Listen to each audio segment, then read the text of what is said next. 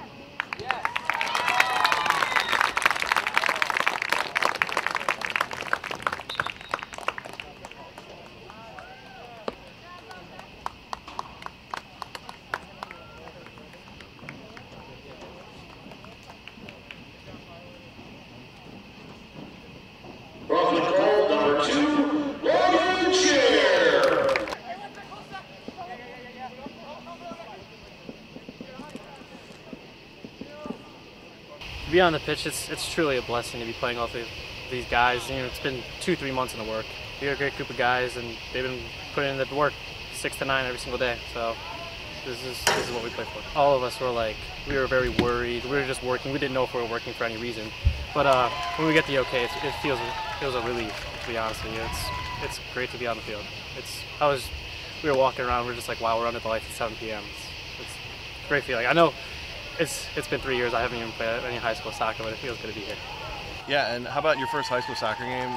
Four goals, technically five with an offside goal. Four goals is it, it means nothing. It's just it's as a team is how we play. First half was, it was really good from us, and second half I just feel like we fell down a little bit. The energy and we picked it up a little bit. But uh, overall, it's a great group of guys. I can't wait to see what the future holds with us. What can Blue Devils fans expect out of you guys this year? We can expect a great season. Hopefully, stay safe and uh, see what we got holding.